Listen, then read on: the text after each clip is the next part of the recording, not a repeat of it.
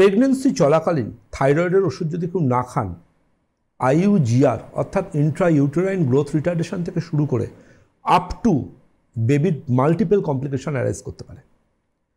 সুতরাং থাইরয়েডের ওষুধ প্রেগনেন্সিতে ভুলেও বন্ধ করবেন না।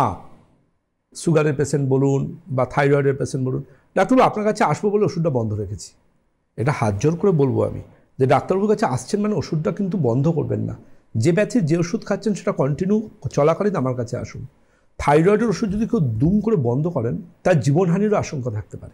থাইরয়েড স্ট্রম বলে। জীবনহানিরও সম্ভাবনা থাকতে পারে। থাইরয়েড ওষুধ যদি কেউ দুম করে বন্ধ করে দেন উইদাউট এনি মেডিকেল বা ডাক্তারবাবুর পরামর্শ ছাড়া। সবাই নাস্তানাবুদ, সবাই জেরবার। ডাক্তারবাবু, ওষুধ পঞ্চাশ, পঁচাত্তর না একশো? এই অঙ্ক, এই ধারাপাত, এই নামটা মুখস্থ করতে করতে জীবন কেটে যাচ্ছে। এত ওষুধ খাচ্ছি, একটু বন্ধ করলেই আবার ফিরে আসছে।